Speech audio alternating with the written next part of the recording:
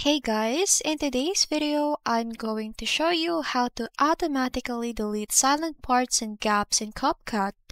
If you're editing videos and want to remove long pauses or silent parts instantly, CapCut has an easy way to do it, so I'll walk you through the step-by-step -step process to speed up your workflow.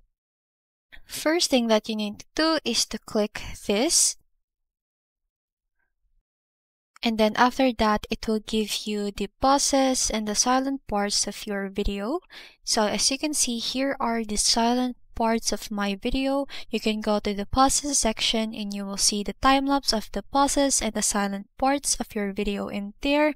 And if you want to delete, just press this button right here and then that's how you um, automatically delete silent parts and gaps in CapCut.